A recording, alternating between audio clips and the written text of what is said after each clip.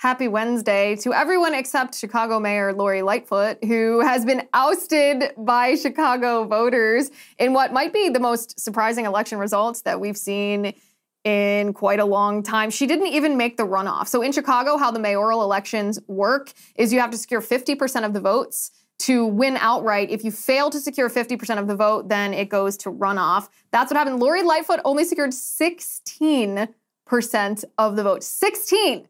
She was defeated by two other people. Paul Vallas got 35% of the vote, Brandon Johnson got 20%, and then in third came Lori Lightfoot. So she's out.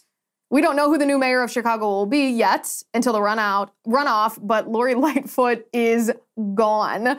To say that I'm delighted probably doesn't even express the joy that Chicago residents are feeling right now.